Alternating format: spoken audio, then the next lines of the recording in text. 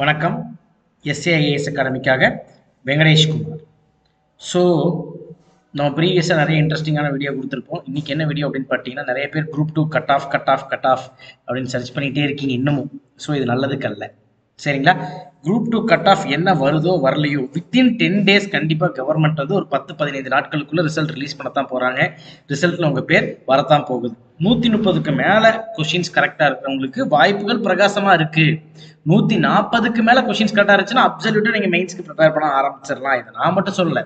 எல்லாருமே அதான் சொல்கிறாங்க ஏன்னா இவ்வளோ கட் ஆஃப் குறையிறதுக்கான மிக முக்கியமான காரணமே வேக்கன்சிஸ் அது. இதுக்கு வரைக்கும் ஐயாயிரத்தி ஐநூறு வேக்கன்சிஸ் எல்லாம் கொடுத்ததே கிடையாது.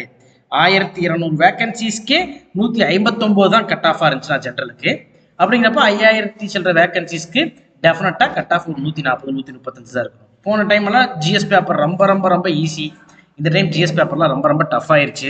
சயின்ஸ் கொஷின் சோஷியல் கொஷின் எல்லாம் வந்து எல்லாருனாலும் ஆன்சர் பண்ண முடியக்கூடிய கொஷின் கிடையாது.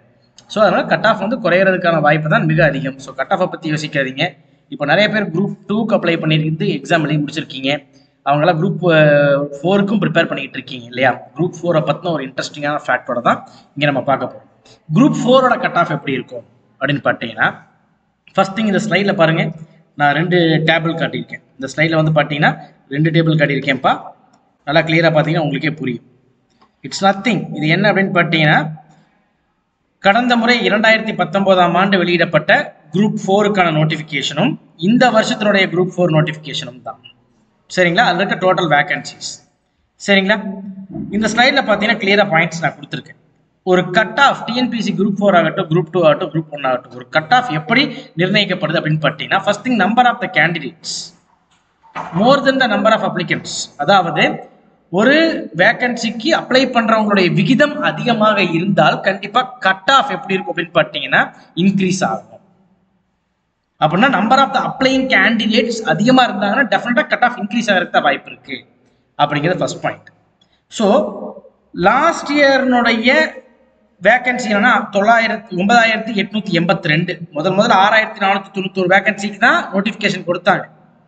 அதுக்கப்புறம் பார்த்தீங்கன்னா அது ஒன்பதாயிரத்தி முந்நூற்றி தொண்ணூத்தெட்டா மாற்றினாங்க கடைசியாக ரெண்டாயிரத்தி இருபதுல ஒன்பதாயிரத்தி எட்நூத்தி எண்பத்தி ரெண்டு வேகன்சியாக மாற்றிட்டாங்க பத்தாயிரம் வேகன்சி அப்ராக்சிமேட்டா ஸோ பத்தாயிரம் வேக்கன்சிஸ்க்கு வந்து கட் ஆஃப் வந்து எவ்வளோ இருந்திருக்கும் அப்படின்னு பார்த்தீங்கன்னா ஒரு ஒன் செவன்ட்டி அப்படிங்கிறது ஜென்ரல் கட் ஆஃப் விஓ கிடைக்கணும்னா ஒன் செவன்ட்டி கொஷின்ஸ் வரைக்கும் கரெக்டாக இருந்தாங்கன்னா விஓ கிடச்சிருக்கு அவங்களுக்கெல்லாம்.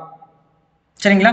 ஸோ இந்த பத்தாயிரம் வேக்கன்சிஸ்க்கு அப்ளை பண்ணவங்களுடைய மொத்த எண்ணிக்கை எவ்வளோனா பதினெட்டு லட்சம். கிட்டத்தட்ட பதினெட்டு லட்சம் எயிட்டீன் லேக்ஸ் பதினெட்டு லட்சம் பேர் இந்த பத்தாயிரம் வேக்கன்சிஸ்க்கு போட்டி போட்டாங்க.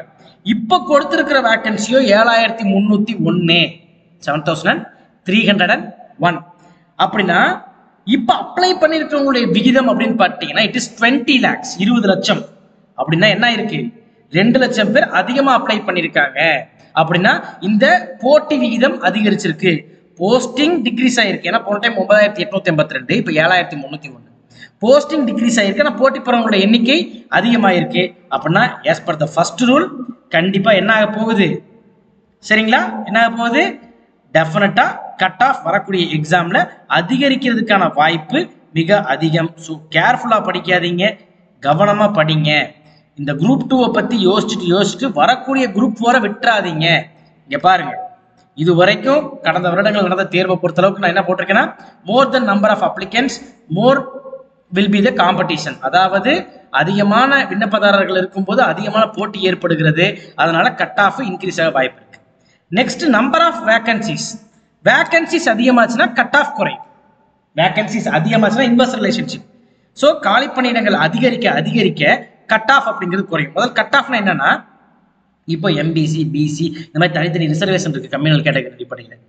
இப்போ வந்து பார்த்தீங்கன்னா ஒரு போஸ்ட்டுக்கு வந்து பத்தாயிரம் பேர் ஒரு ஒரு போஸ்ட்டுக்கு வந்து ஆயிரம் வேகன்சி இருக்கு அப்படின்னு பார்த்தீங்கன்னா அந்த ஆயிரம் வேகன்சியில் முந்நூறு பேர் பிசி கேண்டிடேட்ஸ் எடுக்க போறாங்க அப்படின்னு பார்த்தீங்கன்னா அந்த மொத்தமாக பிசி எக்ஸாம் எழுதின பிசி கேண்டிடேட்ஸ் எல்லாத்துக்கும் வேலை கிடைக்காது. டாப் முந்நூறு பேருக்கு மட்டும் தான் வேலை கிடைக்கும். அந்த டாப் முந்நூறு பேர் ரேங்க் பட்டியலில் ஒன்றாவது ரேங்க் ரெண்டாவது ரேங்க் பிரிச்சோம்னா முந்நூறாவது ரேங்க் ஒருத்தங்க இருப்பாங்க பார்த்தீங்களா அவர் தான் கட் ஆஃப் அப்படின்னா இப்போ நோட் டோட்டலாக வந்து ஒரு பிசிக்கு ஆயிரம் வேகன்சி கொடுக்குறாங்கன்னா எத்தனை லட்சம் பேர் பிசி எழுதினாலும் பரவாயில்ல. அதில் டாப் தௌசண்ட் பேத்துக்கு மட்டும்தான் வேலை பிசி கேண்டிடேட்ஸில் ஸோ அந்த டாப் தௌசண்ட்ல தௌசண்ட் ரேங்க்ல எடுத்திருக்கிற ஒரு ஒருத்தர் எடுத்திருப்பார் இல்லையா? ஆயிராவது ரேங்க் ஆயிராவது ரேங்க்ல எடுத்திருக்கக்கூடிய ஒருத்தருடைய மார்க் தான் கட் ஆஃப் இப்போ நீங்களே டென்த் டுவெல்த்லாம் படிச்சிருப்பீங்க. நானூத்தி முப்பத்தாறு எடுத்தவங்க வந்து ஃபர்ஸ்ட் ரேங்க் நானூத்தி இருபத்தஞ்சு எடுக்கிறவங்க செகண்ட் ரேங்க் நானூத்தி பத்து எடுக்கிறவங்க தேர்ட் ரேங்க் இந்த மாதிரி ரேங்க் பட்டியல் போட்டிருப்பாங்க இல்லையா? ஸ்கூல்ல அதே தான் சொல்றேன். அப்படின்னா முதல் ரேங்க்ல இருந்து இந்த ஆயிரமாவது ரேங்க் வரைக்கும் மார்க் கொஞ்சம் கொஞ்சமா குறையும். கடைசி ஆள் வேலை கிடைச்ச கடைசி ஆளுடைய மார்க் தான் கட் ஆஃப்னு நம்ம சொல்றோம். சரிங்களா? ஸோ கட் ஆஃப் அப்படின்னு நம்ம சொல்றதே வந்து பார்த்தீங்கன்னா ஒவ்வொரு டைம் எக்ஸாம் ப்ரொசீஜர்ல கம்ப்ளீட்டாக முடிஞ்சதுக்கப்புறம் தான் கவர்மெண்ட் வெளியிடுவாங்க. அதுக்கு முன்னாடியே ஒரு எக்ஸ்பெக்டேஷன் ஒரு ப்ரெடிக்டேஷன் கட் ஆஃப் தான். So TNPSC group two cut off மறந்துருங்க. Group four cut off எப்படி இருக்கு போகணும் முதல்ல நான் உங்களுக்கு வார்னிங் செய்து தரேன். ஸோ ஃபர்ஸ்ட் திங் என்னன்னா அப்ளிகன்ஸ் ரெண்டு லட்சம் பேர் போன டைம் விட அதிகம். புரிஞ்சுங்களா? ஸோ அப்ளிகன்ஸ் போன டைம் எவ்வளோ பேர் இருந்திருந்தாலும் தேர்வு எழுதினவங்களை தான் அக்கௌண்ட்ல எடுத்துக்கிடணும் இப்போதைக்கு. ஏன்னா இந்த டைம் குரூப் டூ தேர்வு குரூப் டூ தேர்வு தொடர்ந்து குரூப் ஃபோர் தேர்வு. அப்படின்னா பெரும்பாலானோர் தேர்வு எழுதத்தான் வாய்ப்பு இருக்கு. போன டைம் குரூப் டூ தேர்வுக்கு உடனே வந்து குரூப் ஃபோர் வரல. அப்படின்னா வந்து புதுசாக புதுசா ப்ரிப்பேர் பண்ண ஆரம்பிச்சவங்க அப்படிங்கிற அந்த ரேஷியோ குறைவா தான் இருக்கும். இந்த டைம் வந்து புதுசா ப்ரிப்பேர் பண்ணவங்களுடைய ரேஷியோ ரொம்ப கம்மி. போன டைம் புதுசா ப்ரிப்பேர் பண்ணவங்களுடைய ரேஷியோ அதிகம். புதுசா ப்ரிப்பேர் பண்ண ஆரம்பிக்கிறவங்க தேர்வு எழுதலாம் இல்லாட்டி நம்ம அடுத்த தேர்வு எழுதிக்கலான்ட்டு விலகி போறதுக்கான வாய்ப்பு இருக்கு. ஆனா ஆல்ரெடி ஆறு மாசம் ஒரு வருஷம் ஸ்ட்ராங்கா ப்ரிப்பேர் பண்ணவங்க கண்டிப்பா தேர்வு எழுதுவாங்க அப்பனா இந்த டைம் குரூப் டூ எக்ஸாம் எழுதின எல்லாருமே கண்டிப்பா குரூப் ஃபோர் எழுத போறாங்க. காம்படிஷன் டஃபா தான் இருக்கும். ஏன்னா குரூப் டூ எழுதின எல்லாருமே குரூப் ஃபோர் எழுத போறாங்க. நான் உங்களை பயப்படுத்துறேன்னு மட்டும் தயவு செஞ்சு நினைக்க வேண்டாம். உங்களை வந்து அசால்ட்டா இருக்காதீங்கன்னு தான் சொல்றதுக்காக இந்த வீடியோ போட்டிருக்கோம். ஸோ குரூப் டூவை பத்தி யோசிக்கிறத விட்டுட்டு குரூப் ஃபோர் எக்ஸாம் அடுத்து உடனடியாக வரப்போகுது. அதற்கு தெளிவாக படிக்க தொடங்கவும் படிச்ச விஷயத்த தொடர்ந்து ரிவைஸ் பண்ணுங்க. நிறைய டெஸ்ட் எழுதுங்க. Okay it's my request it's my suggestion even this is the original fact going to win okay don't think about the group two group two நினைக்காதீங்க. குரூப் ஃபோரை கரெக்டாக ஃபாலோ பண்ணி ஜெயிக்க முயற்சி பண்ணுங்க. ஏன்னா கட் ஆஃப் இன்க்ரீஸ் ஆக போகுது. செகண்ட் திங் வந்து வேகன்சி அதிகமாச்சுன்னா கட் ஆஃப் குறையும் சொல்லியிருக்காங்க. இந்த இதில் பாருங்க ஸ்லைடில் கிளியராக காட்டியிருக்கோம். சரிங்களா? ஸோ இங்கே பாருங்கப்பா நீங்களே. போன டைம் வேகன்சி வந்து ஒன்பதாயிரத்தி எட்நூற்றி எண்பத்தி ரெண்டு. சரிங்களா? இந்த டைம் வேகன்சியோ ஏழாயிரத்தி முந்நூற்றி சில்லறை சரிங்களா? அப்படின்னா இங்க ஏழாயிரத்தி முந்நூறு கிட்டத்தட்ட ரெண்டாயிரத்தி ஐநூறு வேகன்சி குறைஞ்சிருக்குது. அப்படின்னா வேகன்சி குறைஞ்சதுன்னா என்ன ஆகும்? கட் ஆஃப் அதிகரிக்கும். சரிங்களா? தேர்ட் பாயிண்ட் என்ன அப்படின்னு பாருங்க. டிஃபிகல்ட்டி ஆஃப் த பேப்பர் சரிங்களா if a paper is exceptionally hard the cut off will decrease இப்போ எக்ஸாம் வந்து டஃப்பாக இருந்துச்சு அப்படின்னா கண்டிப்பாக கட் ஆஃப் குறையும் சொல்கிறாங்க இந்த டைம் குரூப் டூ எக்ஸாமே கம்பேர் பண்ணிக்கோங்க. சரிங்களா? குரூப் டூ எக்ஸாமையே நீங்கள் வந்து என்ன பண்ணிக்கலாம்? கம்பேர் பண்ணிக்கலாம். இப்போ குரூப் டூ எக்ஸாம் பொறுத்தளவுக்கு எக்ஸாமில் தமிழ் வந்து ஓரளவுக்கு என்னன்னு சொன்னாங்க? ஈஸி தான். இங்கிலீஷும் ஈஸி தான். ஆனால் மேக்ஸு ரொம்ப ரொம்ப ஈஸி ஜிஎஸ் தான் இருக்கிறதே ரொம்ப ரொம்ப டஃப் ஸோ அதே நிலை குரூப் ஃபோருக்கு வருதுன்னு இமேஜின் பண்ணிக்கங்க. அதாவது தமிழும் மேக்ஸும் ஈஸியாக இருக்குது ஜிஎஸ் டஃப்பாக இருக்குது அப்படின்னு பார்த்தீங்கன்னா மார்க் குறையும். ஒன்று ரெண்டு மார்க் குறையும். ஆனால் வேகன்சி கம்மியாக இருக்கிறனால போன வருஷத்துக்கு என்ன கட் ஆஃப் இருந்துச்சோ அதே கட் ஆஃப் இருக்கத்தான் வாய்ப்பு இருக்கிறது. ரொம்ப குறையாது. அப்படி இம்பாக்ட் வந்தாலும் ஒன் ஆர் டூ கொஸ்டின்ஸ் குறையலாம். ஸோ அதை தயவு செஞ்சு நம்பாதீங்க. பேப்பர் எவ்வளோ டிஃபிகல்ட்டாக வந்தாலும் இந்த டைம் வந்து கட் ஆஃப் பெருசாக குறையாது. ஏன்னா போன டைமை விட வேகன்சி ரொம்ப கம்மி. அதை மைண்டில் வச்சுக்கோங்க. அதே மாதிரி குரூப் ஃபோர் எக்ஸாம் பொறுத்தளவுக்கு ரொம்ப டஃப்பாக கேட்க மாட்டாங்க. ஏன்னா அதில் பொறுத்தளவுக்கு எஸ்எஸ்எல்சி ஸ்டாண்டர்டில் தான் கொஸ்டின்ஸே கேட்குறாங்க சிக்ஸ்த் டு டென்த் புக் படிச்சாலே போதும் தான் சொல்கிறாங்க ஏன் குரூப் டூ நடந்து முடிஞ்ச குரூப் டூ தேர்வுலையே வந்து பார்த்தீங்கன்னா தமிழுக்கு அங்கே இங்கே அப்படி இப்படி உயிரை கொடுத்து படிச்சிருப்பீங்க. நான் சிம்பிள் லாஜிக்கில் சொல்கிறேன் படிக்காமல் போனாலும் தமிழ் ஐம்பது கொஸ்டின் கரெக்ட் ஆகும். ஓரளவுக்கு படிச்சுட்டு போனால் அறுபது கொஸ்டின் கரெக்டாகும் ஆறாவது டு பத்தாவது புக்கு ஒரே ஒரு டைம் படிச்சுட்டு போயிருந்தா எழுபது கொஸ்டின் ரெண்டு டைம் படித்தா எண்பது கொஸ்டின் அதுவே மூணு டைம் ஆறாவது டு பத்தாவது புக்கை படித்து பத்து டெஸ்ட் எழுதி பார்த்துருந்தா தொண்ணூறு கொஸ்டின் ஷியோர் சாட் நூற்றுக்கு நூறு அடிக்கணும்னு ட்ரை பண்ணி அங்கே இங்கே கச்ச கச்ச கச்ச கச்சன்னு குழம்பி குழம்பி படித்தவங்க தான் நிறைய பேர் என்ன ஆயிட்டாங்க? ஜிஎஸ்ஸை கான்சென்ட்ரேட் பண்ணாமல் ஜிஎஸ்ல மார்க் குறைஞ்சி இப்போ குரூப் டூ சைக்கிள்லேருந்து வெளியே போயிட்டாங்க. ஸோ தமிழுக்குன்ட்டு ஒரு ஒர்க் இருக்கு. அந்த அளவுக்கு ஒர்க் பண்ணால் போதும். ஏன்னா நீங்கள் பத்து நாள் படித்தாலும் தொண்ணூறு மார்க் தான். புரிச்சுன்னா ரெண்டே நாள் படித்தாலும் எண்பத்தஞ்சு மார்க் வாங்க முடியும் அப்படின்னா இது அந்த ரெண்டு நாள் படிக்கிறதா ஐடியல் என்னைய பொறுத்தளவுக்கு. மற்ற நேரத்தில் உட்காந்து சோசியலையும் மேக்ஸையும் ப்ராக்டிஸ் பண்ணலாம் ஜெயிக்கிறதுக்கு. ஏன்னா ஜெயிக்கிறதுக்கு தமிழ் மட்டும் போதாது அதை தெளிவா புரிஞ்சுக்குங்க.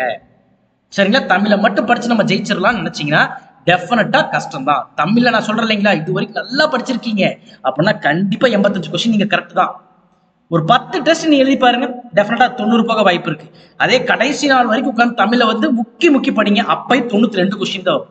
அந்த ரெண்டு கொஸ்டினுக்கு நிறைய சோசியல் சயின்ஸ் கொஸ்டினை சயின்ஸ் கொஸ்டினை கரண்ட் அஃபேர் கொஸ்டினை மேக்ஸ் கொஸ்டினை இழந்துட வேண்டாம். தமிழுக்கு ஒரு லெவலுக்கு தான் இன்புட் கொடுக்கணும். அந்த இன்புட் கொடுத்து நீங்கள் ஒரு பத்து மார்க் டெஸ்ட் எழுதி பார்க்குறீங்க அந்த பத்து மார்க் டெஸ்ட்ல எண்பத்தஞ்சு மார்க்கு மேலே வருதுன்னா டெஃபினட்டாக எக்ஸாம் அதை விட ஓரளவுக்கு கொஞ்சம் ஈஸியாக தான் வரப்போகுது. நல்ல மதிப்பெண்களை நீங்கள் பெறப்போகிறீர்கள் என்பதுதான் உண்மை. அதை நம்புங்க. ஃபஸ்ட் ஃபஸ்ட்டு உங்களை நீங்கள் நம்புங்க.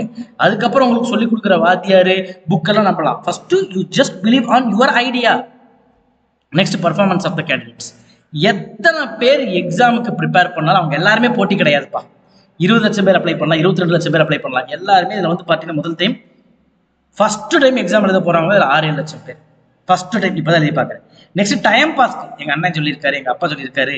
அதே மாதிரி வந்து பார்த்தீங்கன்னா எங்கள் வீட்டில் இருக்குது உங்கள் வீட்டில் இருக்குது அவங்க வீட்டில் இருக்குது டேபிள் மேட் உங்கள் வீட்டில் இருக்குது அப்படிங்கிற மாதிரி எங்கள் வீட்டில் எக்ஸாம் எழுதுறாங்க அவங்க வீட்டில் எக்ஸாம் எழுதுறாங்க இந்த வீட்டில் எதிர்த்த வீட்டில் எக்ஸாம் எழுதுறாங்க எங்கள் அண்ணி வந்து டிஎன்பிசியில் ஒர்க் பண்ணுறாங்க எங்கள் அண்ணன் டிஎன்பிசியில் ஒர்க் பண்ணுறாரு அப்படின்னு இன்ஃப்ளூயன்ஸ் ஆகி எழுத வரவங்க தான் பத்தொம்போது லட்சம் பேர். சீரியஸாக இந்த எக்ஸாம் வாழ்க்கைன்னு படிச்சவங்க ஒரே ஒரு லட்சம் பேர் தான். அப்போனா காம்படிட்டர்ஸ் அப்படிங்கிறவங்க அந்த பத்தொம்பது லட்சம் பேர் கிடையாது. ஒரே ஒரு லட்சம் பேர் எய்ம் பண்ணுங்க. டெஃபினட்டாக உங்கள் பர்ஃபார்மன்ஸ் உங்களுக்கு தெரியும். ஸோ மற்றவங்க எல்லாத்தையும் கம்பேர் பண்ணி இவ்வளோ போட்டி இருக்கே எக்ஸாமில் ஜெயிப்போமா ஜெயிக்க மாட்டோமா அந்த கொஷின் இப்படி வருமா இது அப்படி வருமான்னு ரொம்ப போட்டு மனசை குழப்பிக்காம சிக்ஸ்த்து டு டென்த் புக் தரவா படிங்க. மேக்ஸ் எல்லா டாப்பிக்கும் ப்ரிப்பேர் பண்ணுங்க. சிக்ஸ்த் டு டென்த் புக் தமிழில் தரவா இருந்தீங்களா? கண்டிப்பாக இன்னைக்கு சொல்ல அடிச்சு வச்சுக்கோங்க. எண்பத்தஞ்சுலேருந்து தொண்ணூறு கேள்விகள் கரெக்டாக நூற்றுக்கு நூத்துக்கு புரிச்சுங்க நூறு வாங்க முயற்சி பண்ண வேண்டாம் தமிழில். அதுவே வந்து பார்த்தீங்கன்னா sixth to tenth social science book தரவா இருக்கிறீங்களா? வரக்கூடிய அறுபது அறுபத்தஞ்சு சோசியல் சயின்ஸ் கேள்வியில் ஐம்பது கேள்வி சரியாயிடும் சிக்ஸ்த் டு டென்த்து சயின்ஸும் தரவா இருக்கிறீங்களா? அதாவது சிக்ஸ்த் டு டென்த்து சயின்ஸை ஓரளவுக்காக படிச்சு வச்சிருக்கீங்களா? ஏன்னா சயின்ஸ் தரவா படித்தாலும் பத்து கேள்வி வந்துச்சுன்னா அஞ்சு கேள்வி கண்டிப்பாக கரெக்ட் சயின்ஸ் புக் பேக்கை மட்டும் படிச்சுட்டு போயிருந்தாலும் பத்து கேள்வி வந்துச்சுன்னா கண்டிப்பாக அஞ்சு கேள்வி கரெக்ட் ஆயிரும். ஒன்றுமே படிக்காமல் போனாலும் சயின்ஸ் பத்து கேள்வி வந்துச்சுன்னா அஞ்சு கேள்வி கரெக்ட் ஆயிரும். புரிஞ்சுல அப்புறம் நீங்கள் என்ன பண்ணணும்? நீங்களே முடிவு பண்ணிக்கலாம். சரிங்களா? ஏன்னா சயின்ஸ் எல்லாம் இப்போ வந்து பார்த்தீங்கன்னா வர வர வந்து டாக்டர்கள்ட்ட கேட்கிற கேள்வி மாதிரி வந்து எக்ஸாம் கேள்வி இன்க்ரீஸ் ஆயிட்டு இருக்கு இதை நான் சிம்பிளா சொல்லல. கடைசி அஞ்சு வருஷத்துல கொஸ்டின் பேப்பரை வச்சு தான் சொல்றேன். சரிங்களா? நீங்களுமே கடைசி அஞ்சு வருஷத்துல கொஸ்டின் பேப்பர் டவுன்லோட் பண்ணி பாருங்க. சயின்ஸ் கொஸ்டின் கொஞ்சம் டாக்டிக்கலா மாறிட்டு இருக்கு அந்த அளவுக்கு டெப்தா படிக்க முடியாதுங்கிற நிலைமை உருவாகிட்டு இருக்கு ஸோ சயின்ஸை பொறுத்தளவுக்கு புக் பேக்கு கொஷின் படிங்க. புக் பேக்கு படிங்க. அந்த புக் பேக் கொஸ்டின் சம்மந்தப்பட்ட கண்டென்ட் புக்குக்குள்ள இருக்கு இல்லையா? அந்த பேராகிராஃபையும் போய் படிங்க. போதும். A to Z page to page அட்டை டு அட்டை அப்படிங்கிறது தயவு செஞ்சு சயின்ஸில் ஃபாலோ பண்ண வேணாம். சோசியல் சயின்ஸ் அட்டை டு அட்டை படிச்சு தான் ஆகணும். மேக்ஸ் டெய்லி ஒரு மணி நேரம் ப்ராக்டிஸ் பண்ணணும். சிக்ஸ்த் டு டென்த்து மூணு டைம் படித்து பத்து டெஸ்ட் எழுதுனா போதும். தொண்ணூறு மார்க் தமிழில் உறுதி. தமிழில் தொண்ணூறு. புரிச்சுங்க சோசியல் சயின்ஸில் வரப்போகிற மொத்த கேள்விகளில் ஜிஎஸ் கொஸ்டின் சயின்ஸோட சேர்த்தியே ஒரு ஐம்பத்தஞ்சு கேள்வி. மேக்ஸில் இருபத்தஞ்சுக்கு இருபத்தஞ்சு அடிக்க முயற்சி பண்ணணும். அல்லது இருபது கேள்வியாவது அடிக்கணும்.